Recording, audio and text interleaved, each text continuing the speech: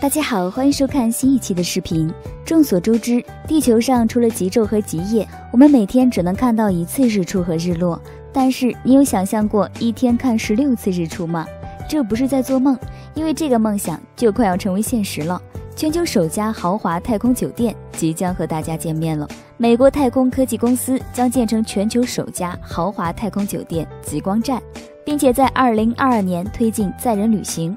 太空旅行最大的亮点就是这家酒店每隔九十分钟就会绕地球一次。太空旅行终于不再是一个梦想。据开发公司的官员说，他们开发的这个空间站能同时容纳六名旅客，只要发射升空后便可以投入使用了。然后就在近地轨道上展开了为期十二天的旅行。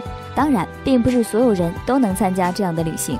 酒店入住十二天，费用就高达九百五十万美元，这就是将近六千万元人民币。真的是贫穷限制了遐想，这也注定是一场不平凡的旅程。还有一个条件，那就是要想参加这趟旅行，还需要通过三个月的飞行培训和往返交通费。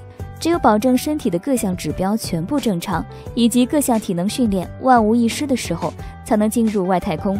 旅客们一天就可以观看十六次日出和日落，同时可以体验外太空的零重力的刺激。可以在酒店里自由的来往，可以看到宇宙星辰，还可以看到地球南北部的极光。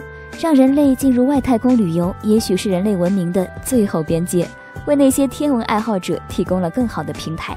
这一场太空的旅行已经很吸引人了，而这家公司正在准备向太空发射世界上首套住宅公寓。